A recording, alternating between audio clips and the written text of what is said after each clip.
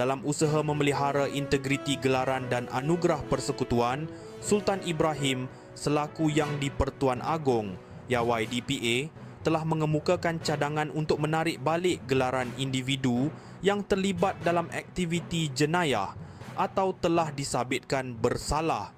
Cadangan ini menyusul amaran tegas baginda semasa istiadat di Istana Negara. Warganet pantas menyenaraikan nama Datuk Seri Najib Razak dan Tan Sri Muhyiddin Yassin sebagai calon utama yang berpotensi ditarik balik gelaran. Najib yang kini menjalani hukuman penjara 6 tahun di penjara Kajang atas penglibatannya dalam skandal 1MDB memenuhi kriteria Sultan Ibrahim sebagai banduan.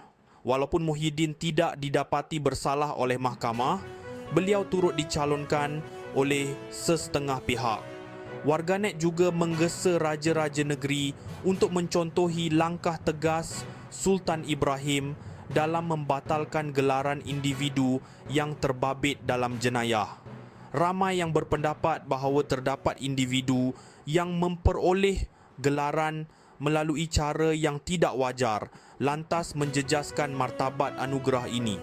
Seperti yang disindir oleh seorang pengulas, sekiranya benar, 90% daripada semua datuk dan tan sri berkemungkinan kehilangan gelaran mereka. Adakah gelaran Datuk Seri Najib dan Tan Sri Muhyiddin akan ditarik balik? Hanya masa yang akan menentukan. Pastikan anda terus mengikuti perkembangan terkini di saluran kami.